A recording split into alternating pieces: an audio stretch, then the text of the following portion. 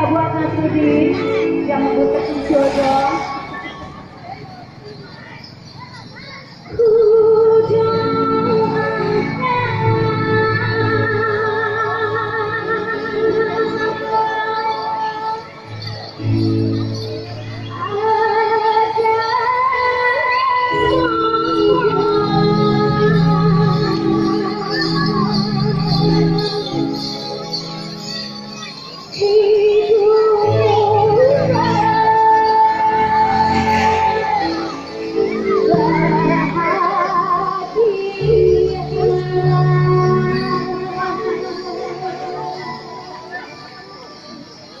selama